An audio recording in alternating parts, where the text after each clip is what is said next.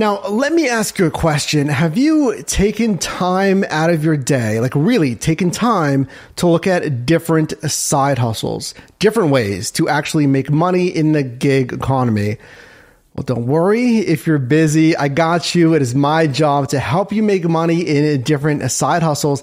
And in this video, I want to present a new app, or at least new to me, this side hustle that I just got activated on. As you know, based on the title, it's called Point Pickup.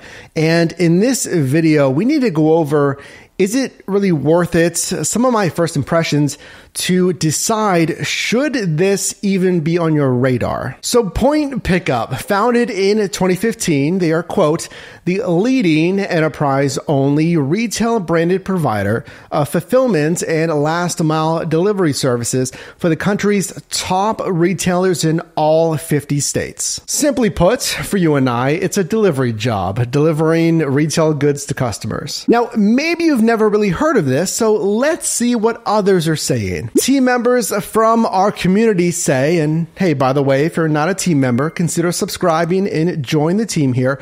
But Kanita09 says, thanks for commenting. That's all I do Sundays and Mondays. So far, five pickups today, and I am at $175. Eli says, Point Pickup is definitely one of my main apps out of the four that I run. Now, conversely, Odeka says, I've used Point Pickup in the past. I never had good experiences with their support agents nor the merchants such as Giant Eagle, so I haven't used the app for months now. So, certainly not like cut and dry, right? And this is important to me too, because I just got activated. So, let's find out who even qualifies, what you actually need, well, what you're required to use to drive on point pickup. And then hang with me here. I'm going to show you some live order requests. So again, we can start deciding, is this even worth it? So number one, who can become a point pickup driver? And this is straight from their support page. And it states anyone above the age of 18 with a valid driver's license, social security number, and a functioning vehicle manufactured after the year 2000 can become a point pickup partner.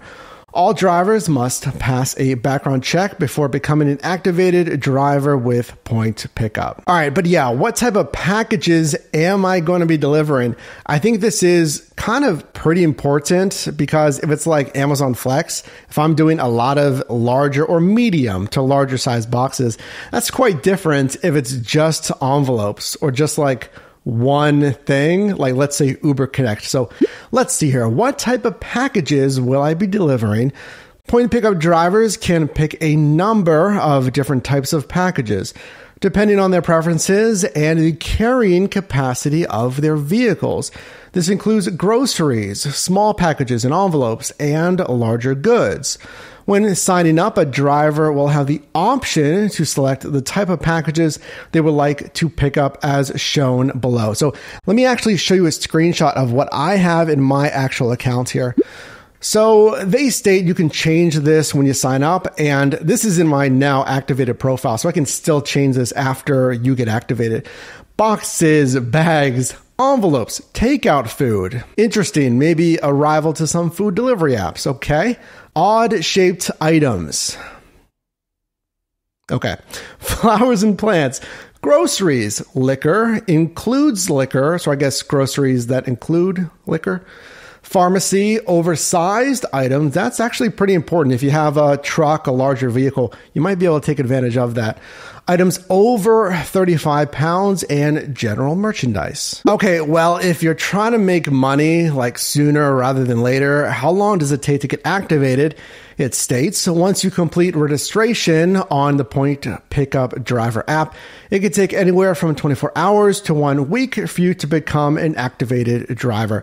My activation was pretty quick, and they state in their I mean, support page has a ton of information if you want to go over more of some of these FAQs. But the only reason that they really stated that your registration will get tied up is because of the background check. If there's flags, if there's something on the background check, then it does get forwarded to their legal and compliance team per their support page, but I was activated pretty quickly. So again, food for thought. Okay, how it works and pay. So this is what really matters. I mean, frankly, this is like the thing you care about is the pay. So let's look at some actual recent order requests to decide. I mean, again, is the pay even worth it? All right, number one, I just grabbed these at random. I wanted to give you a decent sample size here as well. So starting from the top down, Walmart grocery pickup.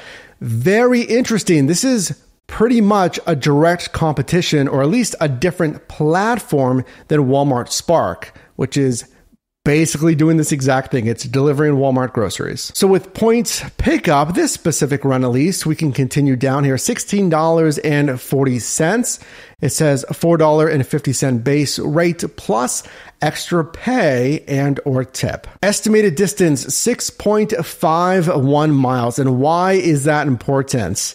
If you're a regular here, you know, and if you're not, or again, if you're not subscribed, this is maybe one reason to subscribe right now is that this is the fundamentals. This is the dollars to mile ratio. How much am I getting paid for the miles driven? We want that to be the biggest margin possible, low on the miles, high on the pay. So you're what? Minimizing that depreciation on your vehicle and maximizing the actual profit margin while again minimizing the wear and tear on that vehicle. So 1640 for 6.51 miles. That's not bad. So let's look at the next one here. $32.52. That is a pretty good cash flow. Just how much money am I getting paid in general? But Look at the miles here, 21.56 miles. So that that's why you need the miles, folks. That really tells the actual story of how efficient this run is. Now here's something else look at the top, this is actually two drop offs.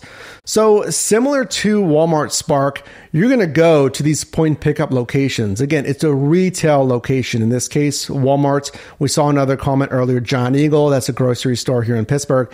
And the associates will have it ready for you. That is big. Again, associates will have it ready for you, loading into your vehicle, which is nice no shopping and pulling items. So is this one worth it for 21 miles for two different stops? Let me know down below in the comments. So with a lot of these apps, answering the question of is it worth it really comes down to you and making the decision of are you accepting good runs or not? And of course, you know, what your marketplace is actually offering you on a respective platform. And then one more example here $32.57. These are big payouts, just cash flow again. But remember, the miles almost really equal amount of miles, pretty close. 31.09 miles. And here's the big thing for me is again, look at the top. There's eight drop offs here. So what's nice is yes, I go to the one location, which is nice. There's no back and forth like you might have with Walmart Spark, having to go back to those Walmart locations sometimes.